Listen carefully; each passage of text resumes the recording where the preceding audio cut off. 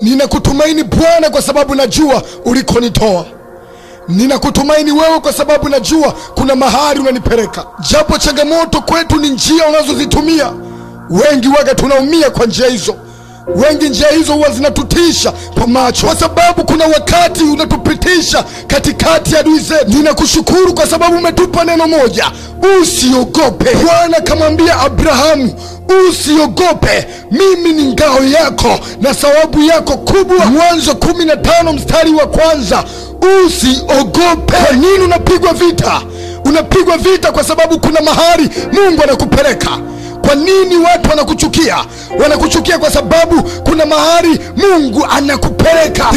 Mungu akushindwa kumzuia Goliati asipigane na Daudi. Alichokifanya, alimpa nguvu Daudi amshinde Goliati, ili kupitia hilo Mungu aweze kujitukuza. Mungu ashindi kwa